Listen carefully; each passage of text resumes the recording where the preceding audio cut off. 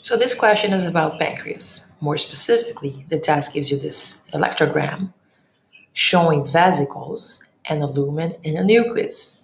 Now, some kids get freaked out when they see these, they don't understand it. Sometimes you have to read the question because in the question, there might be a hint.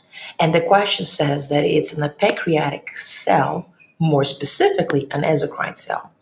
So let's understand more about the pancreas and about its cells so we can actually figure out what is the role of a vesicle. So here we have the pancreas. Now, the pancreas is connected to the small intestine and it's between the stomach and the small intestine. Now, if you look inside the pancreas, it has specific two types of cells. We have endocrine cells and you have exocrine cells. Now, the endocrine cells, they are the ones who secretes hormones into your blood. And hormones example like insulin and glucagon. See, insulin and glucagon, these guys work with sugar. Whenever you're eating and sugar goes to your blood, you want to put the sugar in your cells, or you want to store sugar as glycogen in your liver. These are the insulins that release in your blood to do that.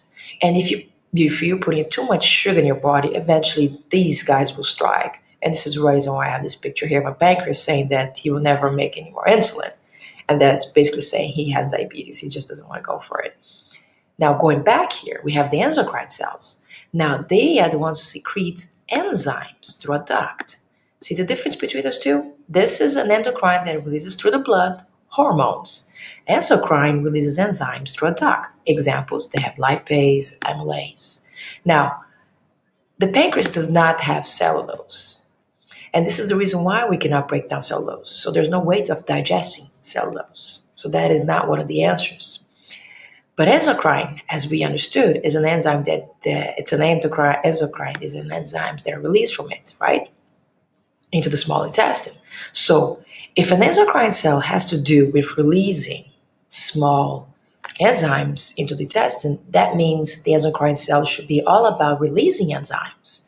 So, if they ask you what is the role of a vesicle in an exocrine cell, it's about releasing enzymes outside which the word for releasing outside, that means exocytosis. So the right answer to this question is that the roles of the vesicles in the exocrine cells is, is to release enzymes through exocytosis.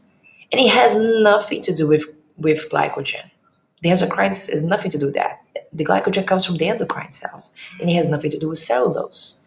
And it's not a transportation going between the Golgi and the ER. Because the real matters of these vesicles is to release the enzyme. So once again, the answer to this question is, is that it's releasing enzymes through exocytosis. That's the role of the vesicles.